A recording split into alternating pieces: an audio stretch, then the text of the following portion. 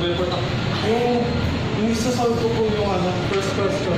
What is the magnitude of the Richter scale of an earthquake that is 10 to, the, 10 to the power of 14 joules of energy? How much more energy does this earthquake release than that of the reference earthquake?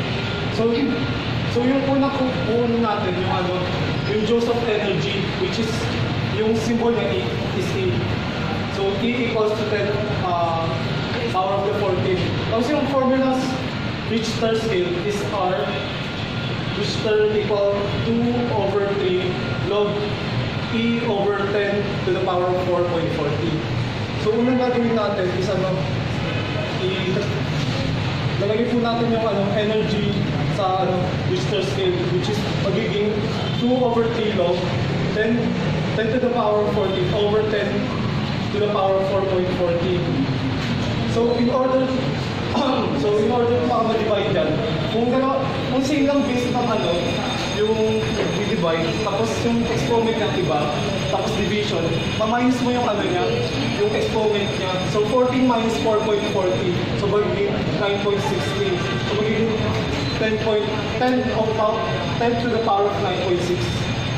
So, yung pinag-aralan po natin sa ano, sa first lesson, yung magiging answer is ano, equal than log, log, log 10. So, magiging 2 over 3 times 9.6. So, magiging sagot po ay 6.4 magnitude. Yun yung makuha ng ano, gano'ng kalakas pag-release ng joules of energy sa 10 to the exponent of 14.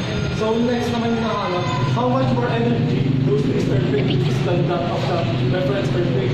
Para malaman natin siya, gagamitin natin yung ano, pinag pinag-minusan natin na base na at yung exponent, which is 10, 10 over 10 to the power of 9.6.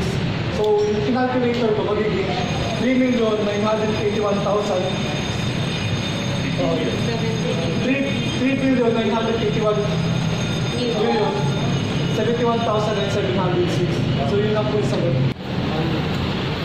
I'm going to be solving this problem number two. First of all, never mind this, but that's uh, nothing.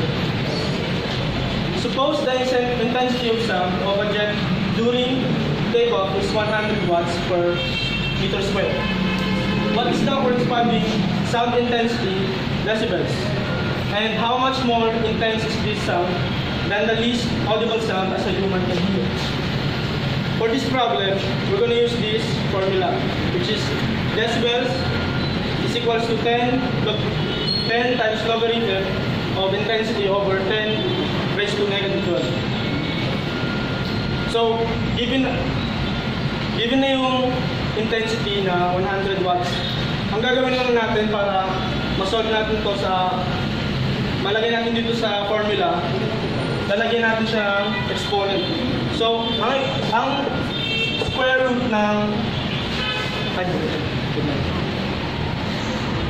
ang para maging exponential form itong 100, magiging 10 squared siya. Pagkatapos, i-substitute na natin dito sa formula natin.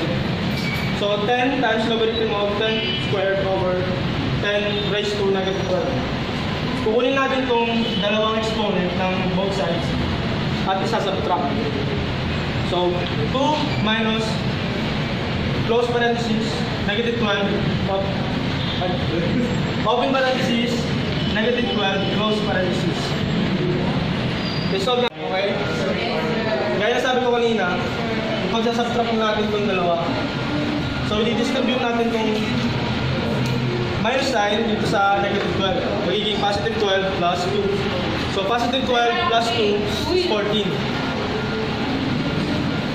Dahil yan yung ano, yung exponent, yung exponent natin, kukunin lang natin siya, times natin siya dito sa constant number na 10. So 10 times 14 is 114 decibels. For the second question, how much more intense is this sound than the least audible sound as a human can hear? So, Lang natin yung value ng 10 raised to 14. That will be 100 quadrillion. Thank you. A 1 liter solution contains 10 raised to negative 8 moles of hydrogen ions. Determine whether the solution is acidic, neutral, or basic. So the solution is this one. First, find the formula. The formula is pH is equal to negative logarithm of hydrogen ions.